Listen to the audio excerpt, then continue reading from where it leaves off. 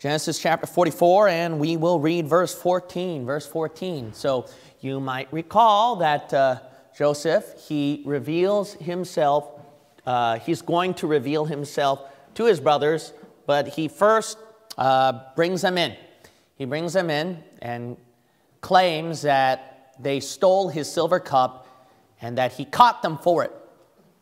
So the brothers, they're in heavy grief here. They're in heavy grief.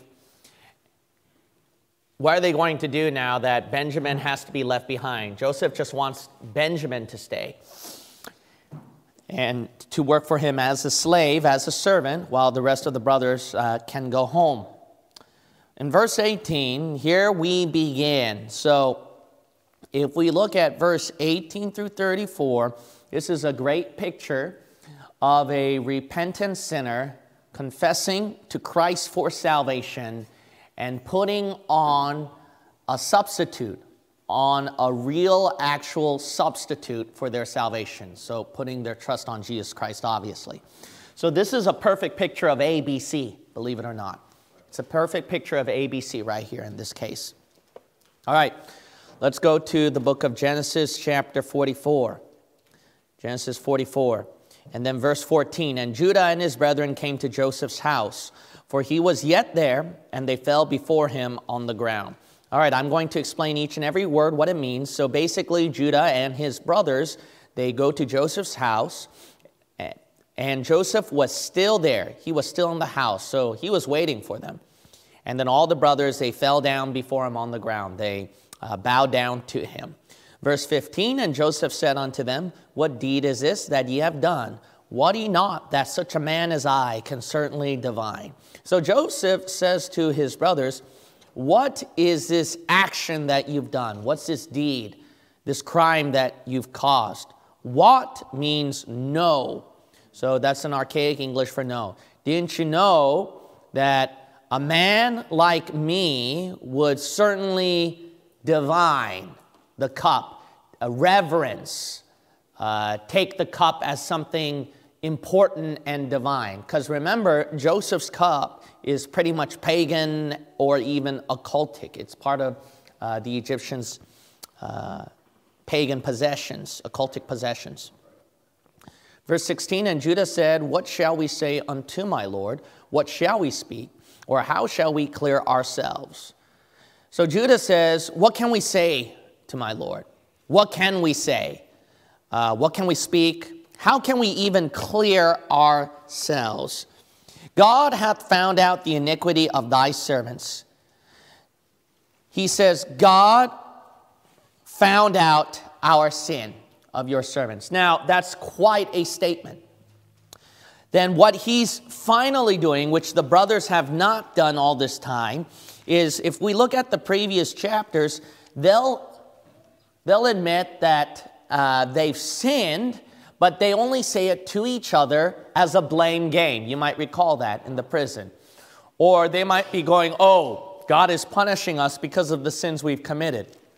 But there's no actual confession to the person they committed the crime against. So notice right here, he finally confessed to Joseph that he and his brothers have truly done wrong. This is what Joseph has been waiting for. And that's in C. God has been waiting all this time for you to confess to him. We see right here, A, an acknowledgement of sin. So that's also another word where we could put repentance. And then also that confession to God. Judah is picturing a sinner who finally uh, confesses to God as a repentant sinner for salvation. Uh, we're going to come in believing very soon, but we're seeing that they're finally doing that. Behold, we are my Lord's servants, both we and he also with whom the cup is found. Judah says, Look, uh, all of us will become my Lord's servants, your servants, both us and also the one where you found the cup. So he's trying to include himself with Benjamin here. Verse 17 And he said, God forbid that I should do so. But the man in whose hand the cup is found, he shall be my servant. And as for you, get you up in peace unto your father. Joseph says, uh, God forbid. The idea is that's an expression basically, no, no way that this will happen. Uh, that would be a horrible thing. That's another meaning. No way that I'm going to do this. The one, the man in uh, where we found the cup, whose hand, who's responsible for it, he's going to become my servant. The rest of you, you can go back in peace to your father. Uh, no hand will touch you. You don't have to be a servant. Now, if you think about typically uh, Judah and the brothers, it would be their mentality of disposing Jacob's favorite son. Remember Joseph, right? They would, if this was Joseph back then, uh, when they sold him off as a slave, the brothers would be content. Yeah, uh, take Joseph as the slave or as the servant while the rest of us go free. That's a matter of fact what they did. So Joseph, he's repeating, notice right here, the same scenario. You notice that. So let's take away Jacob's favorite son, Benjamin, as a slave. Let's see how you would react. The brothers this time they're acting in repentance right here, and uh, they're not going to let this slide. It's not like before, where, well, I don't give a flip about Jacob's favorite son. He can see the jealousy is gone, he can see their repentance is genuine, he can see that his brothers have changed. They're not the same as before. Because if you recall, in the previous chapters, Joseph let his brothers rot in prison a couple days, right? Because he wanted to think, but more so, he wanted his brothers to think, to contemplate the, their wickedness. That's the reason why Joseph, he set them up with the silver cup, because he's still trying them, he's still testing them if they really changed. If we look at verse 18, Judah gives a response that shows a change. He's not going to let it go. He's not going to say, okay, let's go back to our father. Good riddance to the favorite boy. Nope. Verse 18 Then Judah came near unto him and said, O my Lord, let thy servant, I pray thee, speak a word in my Lord's ears, and let not thine anger burn against thy servant, for thou art even as Pharaoh. So Judah, he approaches near to Joseph. So uh, Dr. Ruckman gives this touching scenery in his ad commentary but what you can picture is here the king is far away over there, all right? Uh, not the king, but the, uh, Joseph being the ruler, far away over there. The brothers are bowing down before him. Judah, he gets up and then he starts to approach Joseph as he pleads with him. Now, when you do that, uh, Joseph, you can imagine his emotions would be tugged very hard after that. Seeing the repentance in his brother's face, seeing him pleading with him, but approaching him up close. Joseph does not get the luxury of escaping this time. You might recall when his brothers were there, he ran away to his bedroom to uh, cry. When he imprisoned his brothers and he heard their acknowledgement and uh, blaming each other for their sin, he was crying, but he hid himself. This time he can't hide. So he can't run or hide. Judah is approaching to him, pleading with him. And Judah says, uh, Oh, my Lord, that's how he addresses him. Uh, Please let your servant, I beg you, I beseech you, speak, uh, speak something. Just give a word for your ears to hear. Please, uh, am I cut off now or? Okay, then. He says, uh, Please don't let your anger uh, burn against your servants. So the idea is don't let your anger uh, increase, be intensified. Because you're like even Pharaoh, so he's trying to credit him, trying to appease his anger. Verse 19 My Lord asked his servants, saying, Have ye a father or a brother? And we said unto my Lord, We have a father, an old man, and a child of his old age, a little one, and his brother is dead and he alone is left of his mother, and his father loveth him. Okay, the idea is in verse 19, Judah is explaining that when you, my Lord, asked your servants, asked us by saying, Do you have a father or do you have a brother? We said to you, my Lord, we do have a father. He's an old man, and there's also a child of his old age, a little one. So that's referring to Benjamin, so his favorite. And then we had another one, his brother Joseph is dead. And he, Benjamin, is left alone from his mother's side. Because remember, Rachel's the mother. She only gave birth to Joseph and Benjamin. Joseph's dead, and Benjamin's the only one that's left. And his father loveth him. So the father really loves Benjamin. And thou saidst unto thy servants, Bring him down unto me, that I may set mine eyes upon him. So, uh, also, you've said to, for us to bring Benjamin to you so that uh, you can see him for, uh, for your own eyes. Verse 22 And we said unto my Lord, The lad cannot leave, leave his father, for if he should leave his father, his father would die. And thou saidst unto thy servants, Except your youngest brother shall come down with you, he shall see my face no more. The uh, meaning is that we said to uh, my Lord that the young boy, that's the lad, he can't leave his dad. For if he's going to leave his dad, Jacob is going to die. And you said to us, your servants, unless you bring your youngest brother uh, down from Canaan to Egypt with you, you can't see my face. Verse 24, and it came to pass when, my, when we came up unto thy servant, my father, we told him the words of my Lord. And our father said, Go again and buy us a little food. And we said, We cannot go down. If our youngest brother be with us, then will we go down. For we may not see the man's face except our youngest brother be with us. So the idea is, uh, meaning, verse 24, it just so happened, that's what it came to pass is referring to, when we came to your servant, which is our father, or my father, uh, we told him your words. But our father said, uh, Hey, go again and buy us just a little bit of food. And we replied to him, Look, we can't go down to Egypt unless our youngest brother goes with us. Then we can go. Because we can't see the man's face or the governor's face except the youngest brother, Benjamin, goes with us. Verse 27. So remember, as I explain, see how it matches every word in the verse, okay? I want to make sure that you do that. That way you can understand every word here.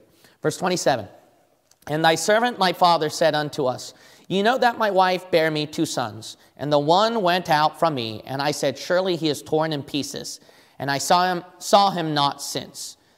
And if he take this also from me, and mischief befall him, he shall bring down my gray hairs with sorrow to the grave.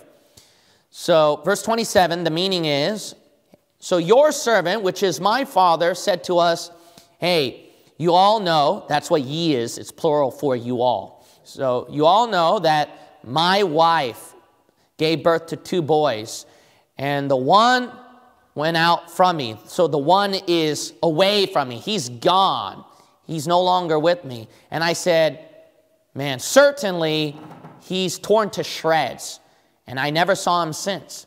If you take this boy as well from me, and something bad uh, befalls him, something bad happens to him, you're going to bring down, uh, and the idea is, my gray hairs with sorrow to the grave.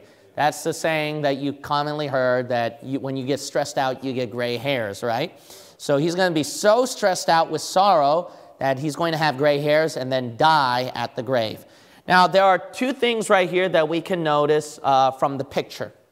I'm going to kind of go back and forth. I don't know if they could see that, all right, with this pulpit in the way. So, J Joseph is picturing Jesus here. Uh, remember what Judah said. Judah mentioned that the brother is dead. That's the word that he used, right? We'll notice that in verse uh, 20. Verse 20 is dead. Then we notice also right here, torn in pieces. Verse 28 torn in pieces. These two is exactly the kind of wording that was prophesied of Jesus Christ when he died on the cross. When he died on the cross, the Bible says that he died and he was torn in pieces. All right, so let's look at the book of Psalm.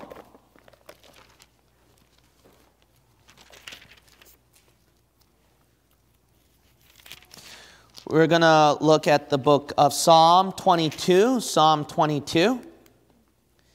Psalm 22. If I could also ask, make sure that your cell phones are turned off or silenced, please. All right? I just want to stress that just in case. Now, notice in Psalm 22, we can see that this is referring to Jesus Christ's death. In Psalm 22 1, My God, my God, why hast thou forsaken me? That sounds like Jesus Christ when he died on the cross, right? So, this is no doubt a prophecy of Jesus Christ. But notice right here that in this context, in verse 12, many bulls have compassed me. Strong bulls of Bashan have beset me round. They gaped upon me with their mouths as a ravening and roaring lion. Verse 16 For dogs have compassed me, the assembly of the wicked have enclosed me. They pierced my hands and my feet.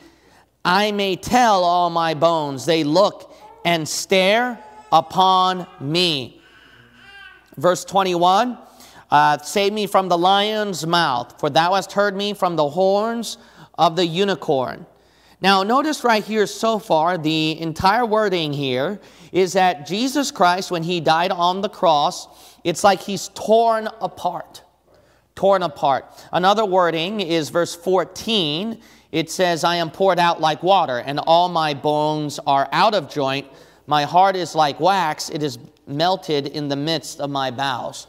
So the metaphorical expression about being torn apart is referring to uh, Jesus Christ, and that matches with Joseph, where they thought that he was torn to shreds as well. Okay, uh, returning back at Genesis. Genesis. There's no doubt Joseph uh, typifies Jesus Christ. We see that over and over again in the Bible. Genesis 44, and we look at verse 30. now, therefore, when I come to thy servant my father, and the lad be not with us, seeing that his life is bound up in the lad's life, it shall come to pass when he seeth that the lad is not with us, that he will die. And thy servants shall bring down the gray hairs of thy servant, our father, with sorrow to the grave. All right, in verse 30 to 31, the, uh, the meaning is So look, when uh, I come to your servant, which is my father, and the young boy is not with us, and the father sees that, uh, uh and I see that my father's life is bound up, it's intertwined uh, with the young boy's life. That's how close they are together. Then it's go- verse 31, then it's going to happen when Jacob sees that the young boy is not with us, that he's going to die. And your servants are going to be responsible for giving gray hairs to your servant, who's my father, with sorrow to the grave. Verse 32 for thy servant became surety for the lad unto my father, saying, If I bring him not, uh, not unto thee, then I shall bear the blame to my father forever. Judah says, uh, Because your servant is responsible, became surety. The idea is that he became sure. He basically put a commitment, a promise to uh, the young boy, Benjamin, to his father, saying, If I don't bring Benjamin uh, to you, then I'm going to be responsible uh, and bear the blame of uh, Jacob, uh, my father, forever. Uh, Brother Tom, if that's Sister Kimberly, have them invited. Yeah. Mm-hmm. I didn't notify the security, so that's my bad. All right? Yeah. All right. Continuing onwards, uh, let's see. Notice right here uh, in verse 33 Now therefore I pray thee, let thy servant abide instead of the lad, uh, a bondman to my Lord, and let the lad go up with his brethren. So Judah says, So I beg you, let your servant here stay uh, in his place instead of the young boy Benjamin, as a servant to my Lord, and let the young boy go free uh, with his brothers. For how shall I go up to my father, and the lad be not with me, lest peradventure I see the evil that shall come on my father. Judah says, For how can I go to my father, and the young boy is not with me? Uh, otherwise, it's possible I'm going to see some mischief, some unfortunate evil that's going to fall on my father as a, as a result. Okay, so understanding that from Genesis 44, we get a great picture here. Judah, uh, remember his name is uh, similar, or basically, uh, he pictures Jesus Christ. Judah pictures Jesus Christ. And Jesus Christ takes the blame on our behalf. So notice right here that the brothers, right? They're acknowledging their sinful part from their confession, the trust and the responsibility can all rely upon Judah who takes the blame. There's your B right there, believing on Jesus Christ. Benjamin is inclusive with the brothers here, and he equals what? Death. And remember, this is, isn't this interesting? When you go to Genesis uh, 44, when you go to Genesis 44, in verse 16, what did uh, Judah recognize? He recognized that even though Benjamin's the one who faces, quote unquote, the death sentence, so to speak, or the crime, the penalty, all the brothers share that. All the brothers share the penalty right here. Why? Because they're all caught with their sin, he says. That's really good right there. Uh, that pictures what? Romans 5.12. Go to Romans 5.12. So when we recognize our sinful condition, we got to realize none of us is an exception to death. Everyone receives it. The Bible says that there's no exception. Uh, death does not discriminate. It is brutal. It will take in everybody. Romans chapter 5, verse 12. You can get one man who sins, and then death happens, but that infects the rest of the group. Romans 5:12, wherefore as by one man sin entered into the world, kind of like Benjamin and death by sin, just one. And then death follows. And so death passed upon one man. It says all men. Why? For that all have sinned. So it was one man, Adam, sin uh, that passed upon all men, and that's why all sinners have to die. Same thing, one man, Benjamin, and then he represents death. But it's not just infecting one man, Benjamin, it infects the rest of his brothers. Why? For they all sinned. Judah said, We all sinned. That's a really good picture right here. There's no doubt that we can get a very good picture of uh, soul receiving Christ for salvation. We see ABC, a very beautiful picture here. Now, another thing is uh, when we go back to the main text here. So Jesus Christ takes the blame, right? He becomes surety for us, takes our evil in our stead. Uh, man, great passages. Go to 2 Corinthians 5. 2 Corinthians chapter 5. And then I want you to also go to the book of 1 Peter. 1 Peter.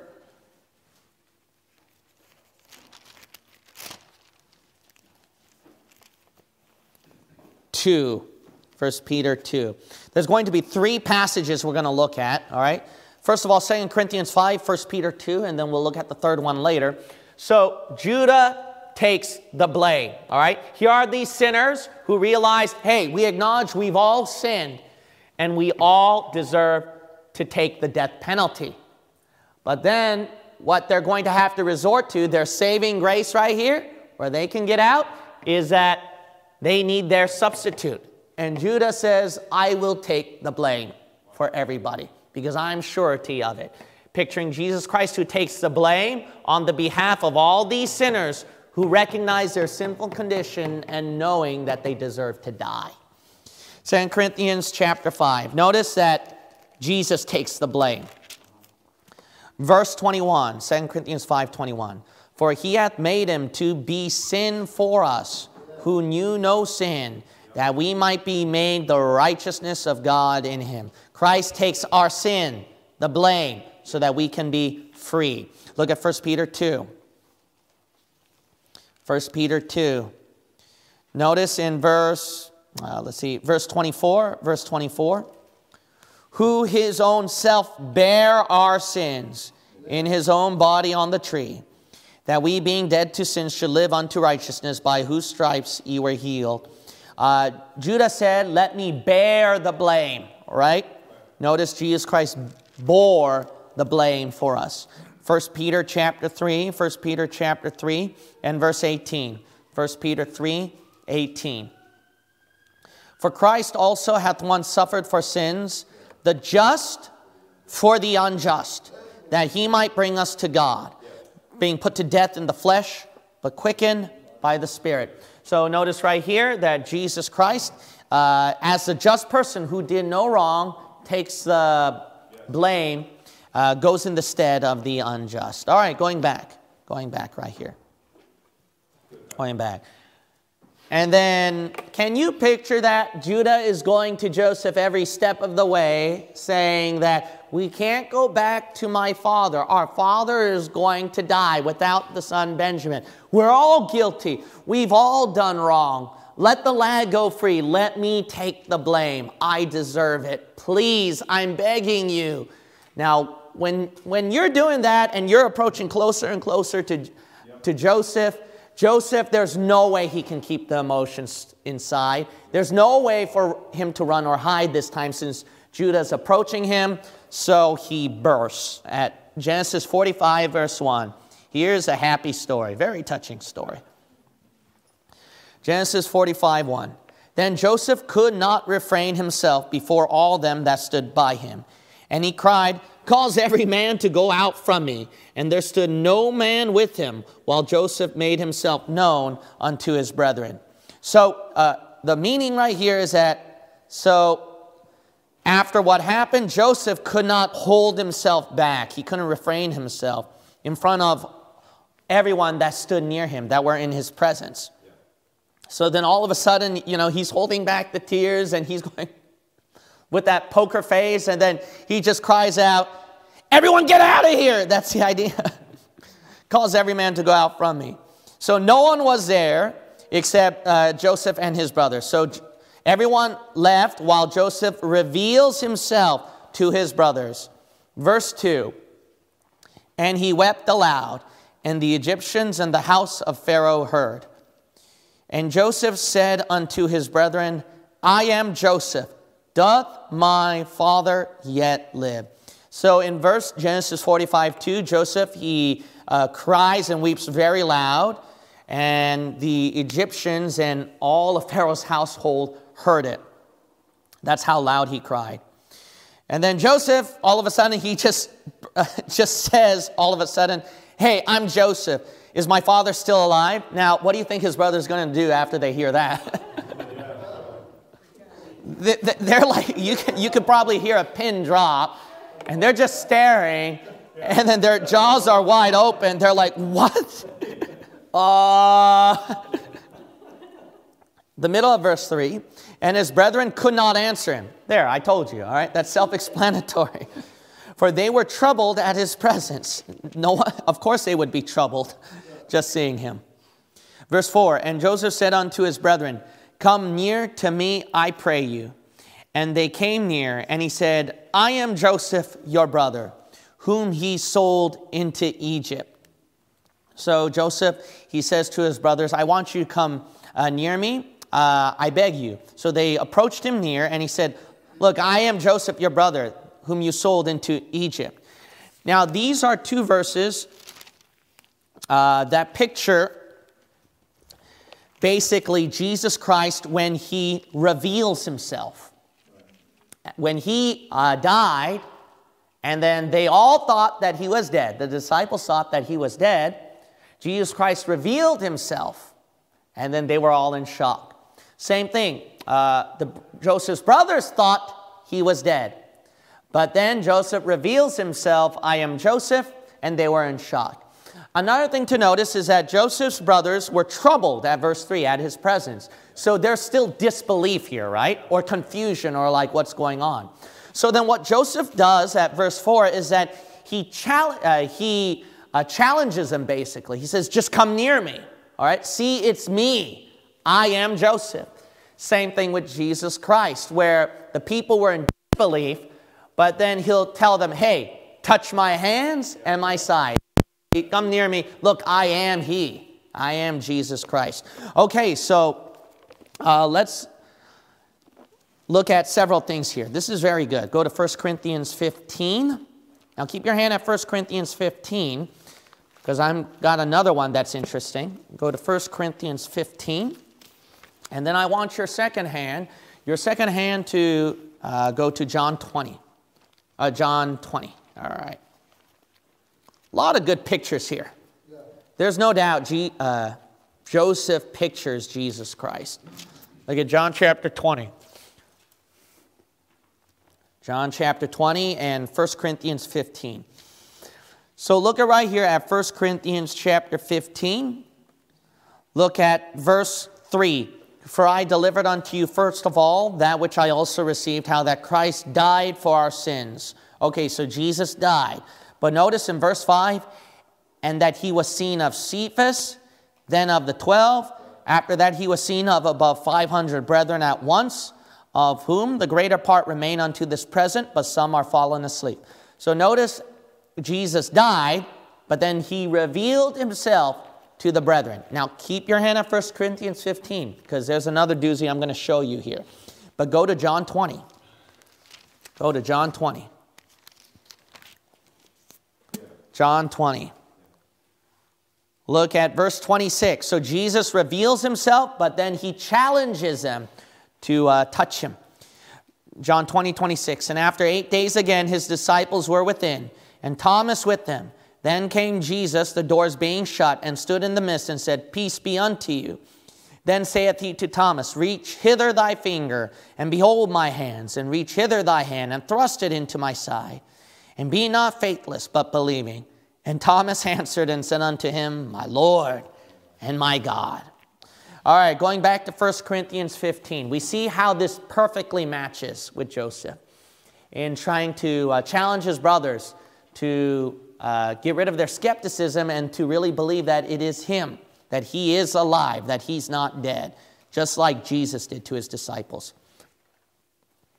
Now, the interesting thing, if we're going to tie all of this together, in verse 7, we read that. So, uh, verse 7, uh, after that, he was seen of James and of all the apostles.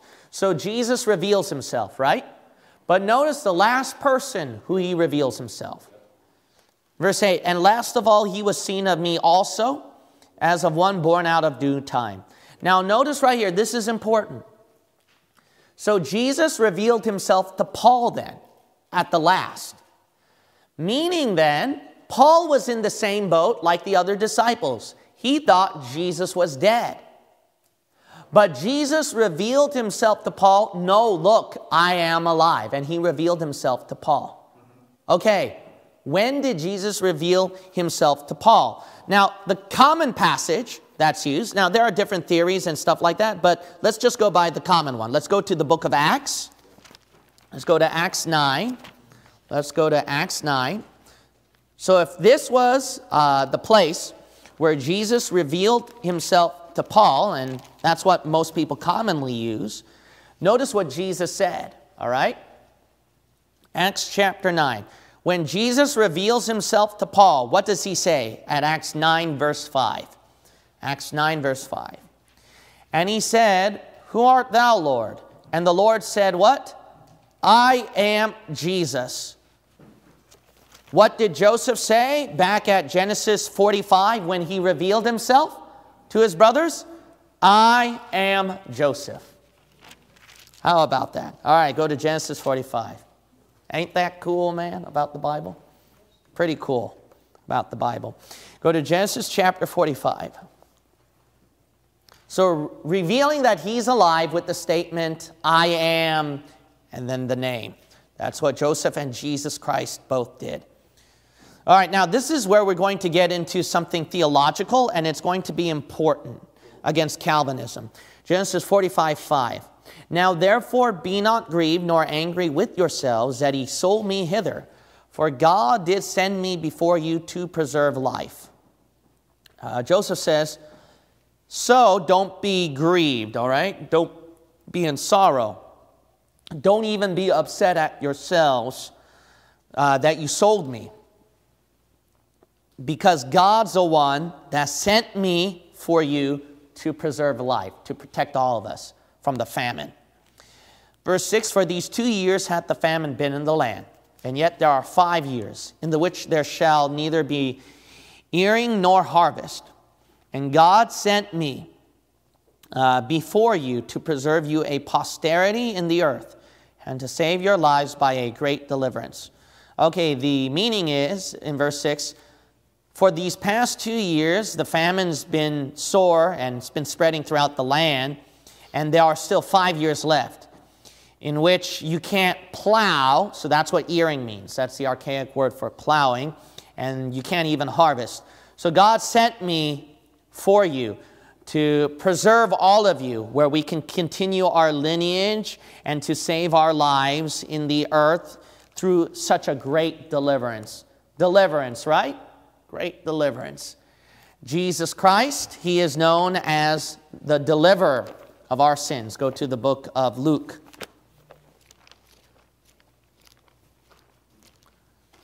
Luke chapter 2. Jesus Christ also delivered us. He basically saved us from our sins.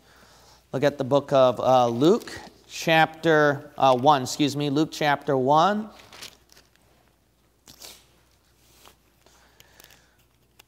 Notice what was known about uh, Jesus Christ. All right. We're going to look at uh, Luke chapter 1 and then verse 31. Luke chapter 1 and verse 31. Notice right here, the Bible says, And behold, thou shalt conceive in thy womb, and bring forth a son, and shalt call his name what? Jesus. That thing is repeated by the angel. That thing is also uh, repeated by the angel later on. But before we go to that one, notice uh, what Mary said at verse 47. Verse 47. She said, And my spirit hath rejoiced in God, notice right here, my Savior, my Savior.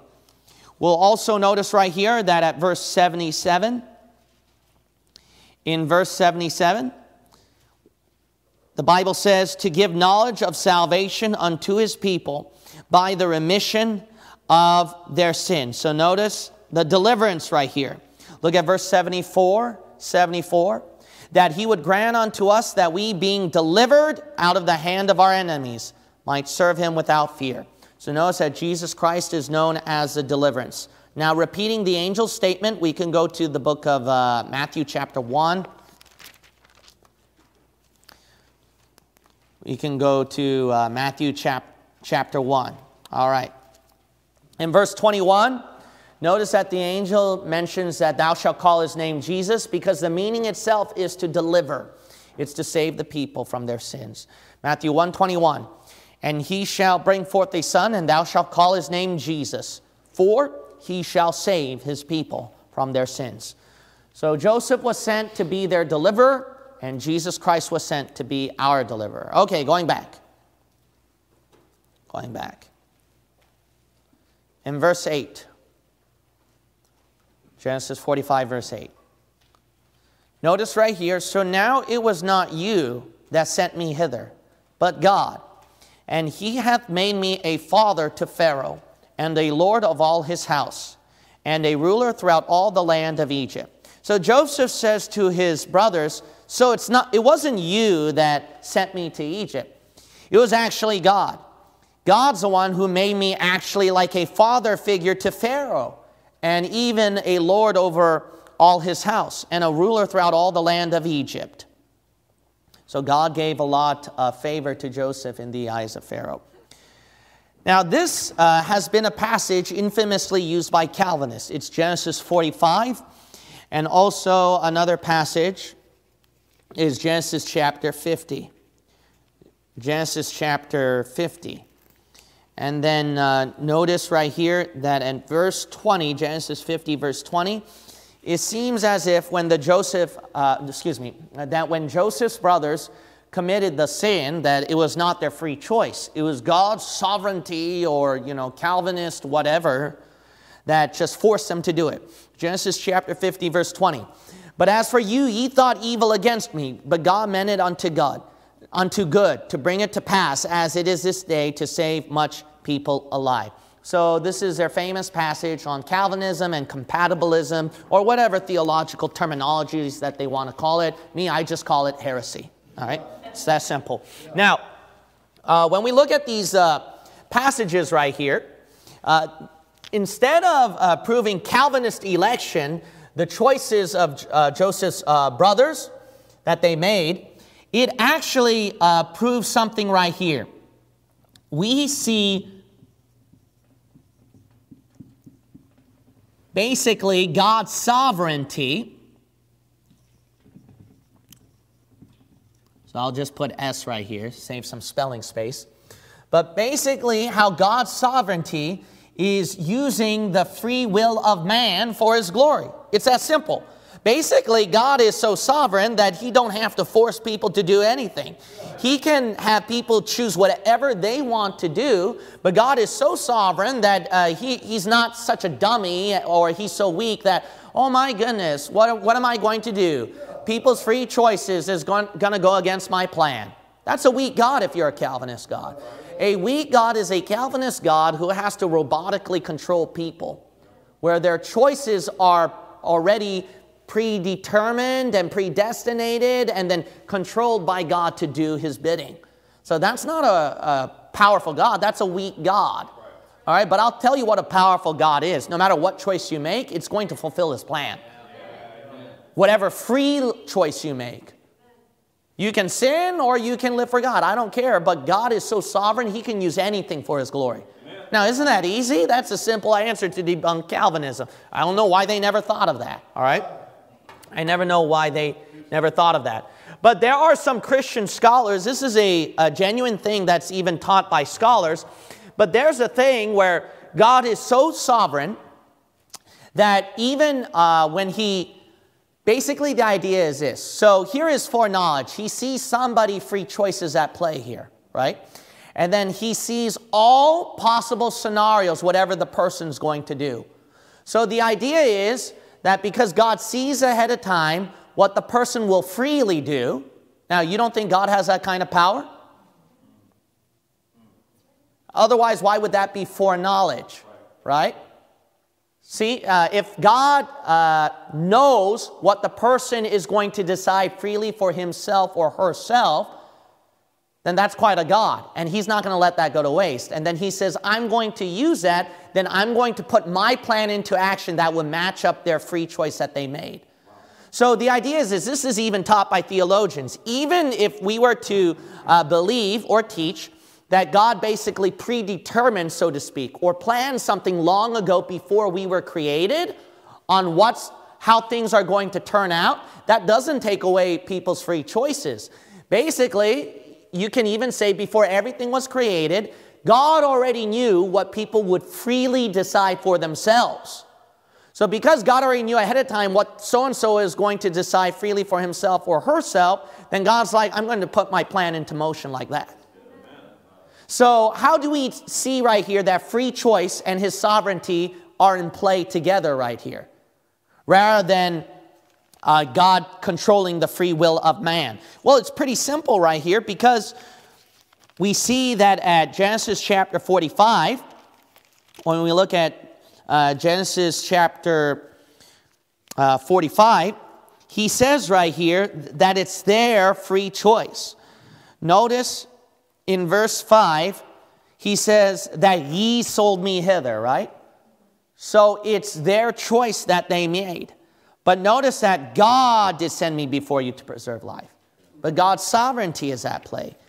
Over here, notice in verse 20, Genesis 50, verse 20, chapter 50, verse 20, they did evil. That's from their own actions, their free choice. If you say God was the one controlling that, then God would be the one doing evil. See that? So it's so important to put free choice here, otherwise, you're going to attribute evil to God. So that's a huge problem with Calvinism.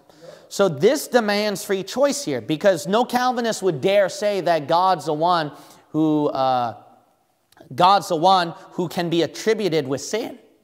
No, they wouldn't dare do that. So then, in order to bypass that, the only way you can bypass that is mankind, from their free choice, did the evil. Well, we bypass that by saying that the human was the one who actually did the sin, whereas God controlled them and made them do it. Why, what, that's so stupid, man. That's like me taking a robot and using a robot to kill somebody. So the responsibility is not me, it's that robot's fault. You know, that, that, that's so silly, man. That is so silly. That's a dumb thing to say. So notice right here that you have to put the blame against someone who actually does the evil, who's responsible for the evil. So there is no doubt free will is attributed at verse 20, while at the same time God's sovereignty at play in perfect balance. Verse 20 you see that the free choice of man is at play with God's sovereignty at play as well. So God's like, okay, you did the evil. That is evil, that is wicked, and that is from your action. But uh, you know what I can do? I can have that fulfill my plan in a good way. That's what God can do. Isn't that simple? Now, I've heard too much, uh, too many arguments, all right? Calvinists will always accuse uh, yours truly of, you're not interpreting us correctly. That's, uh, you don't know what we teach and stuff like that. I heard the yakety yak so many times, all right? Now, let's make this simple, fool, okay? Rather than accusing yours truly for not understanding, Tell me which part I did not understand. Explain it clearly why that is incorrect in an understandable way, unless you're a coward, all right? And then the third thing, the third thing, then I'll admit my mistake after that. But these Calvinists, these cowards who champion their debaters, they're like, oh, you know, we love so and so, we love so and so.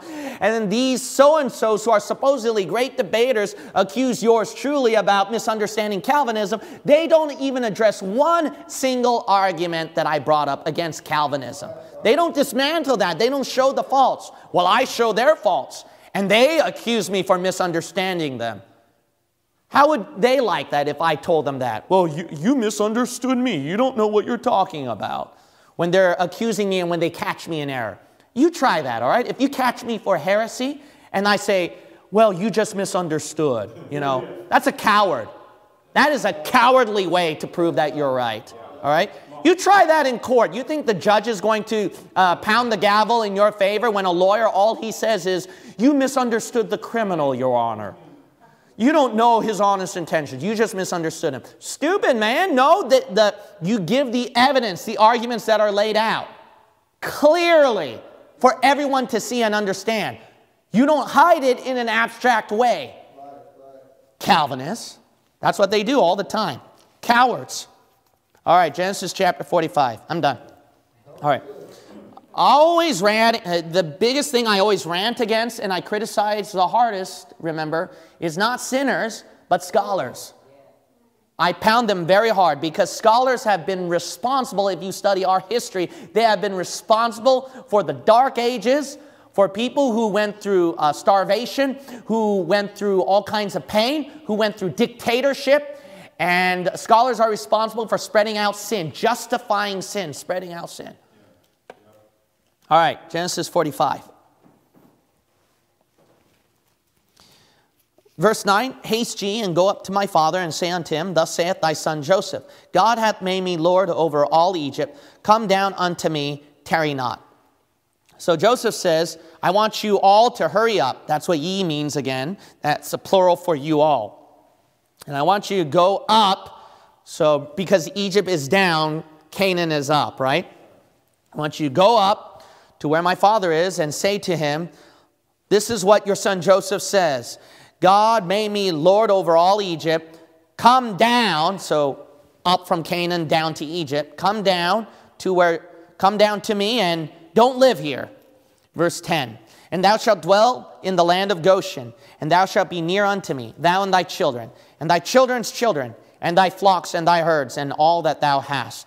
And there will I nourish thee, for there are yet For yet there are five years of famine, lest thou and thy household and all that thou hast come to poverty. Okay, so remember, see how each and every explanation I say matches each and every word in the verse. I'm going to explain to you what the verse is saying. So in verse 10, Joseph, it, Joseph continues uh, his message to his father. You will dwell, you're going to live in the land of Goshen. You're going to be near me. Uh, you, your children, and your grandchildren. That's your children's children. And, you know, your flock, your herds, and all that you have. So basically, all your cattle, your livestock, and everything you own will live near me. You're going to be with me. And at that place, I will take care of you. I'm going to nourish you because there's still five years of famine left, so I have to take care of you, feed you. Otherwise, you and your house, your house and everything you have will come to poverty. Verse 12, and behold, your eyes see, and the eyes of my brother Benjamin, that it is my mouth that speaketh unto you. And ye shall tell my father of all my glory in Egypt, and of all that ye have seen, and ye shall haste and bring down my father hither. So Joseph says in verse 12 to 13, and look. So that's what behold is meaning. Look, your eyes can see, and the eyes of my brother Benjamin, that it's my mouth that is speaking to you. And you're going to tell my father of everything that basically you saw and that you heard from my mouth. So that's what he means of all my glory in Egypt. So everything that you, your mouth and your eyes experienced and uh, all the glory, all, you know, the rulership, the power, everything that I own, how God blessed me in Egypt. And of everything you saw, and you're going to hurry up and bring down my father over here. Brothers are responsible for seeing the glory of Joseph everything that they saw and that they heard. And their job is to take that message to their father Jacob and bring their father uh, Jacob uh, from a place that's dying to a place that is rich. All right, so Jesus Christ, in his glorified state after he resurrected, disciples saw that. They heard his words. And then they take that message to the lost sinner out there who are dying and going to hell, and then bringing them to a, pla- a place of blessing and uh, richness in Jesus Christ and life. 1 John chapter 1, verse 1. That which was from the beginning, which we have heard. See, the disciples heard. Which we have seen with our eyes, which we have looked upon. Their eyes also saw it. They beheld Jesus' glory and our hands have handled of the word of life. For the life was manifested, and we have seen it, and bear witness, and what? Show unto you that eternal life, which was with the Father and was manifested unto us. That which we have seen and heard declare we unto you. That's what Joseph's brother said to Jacob, their father. That which we have seen and heard, we declare to you. That's what Joseph told them. What you've seen with your eyes, and my mouth that you've heard that ye also may have fellowship with us. So that is the message of us Christians. So the disciples, they beheld the glory of Jesus Christ. They heard his words and then they showed it to us. And we, in return, share that message to a lost and dying world. All right. Hope you enjoyed today's lesson on Joseph.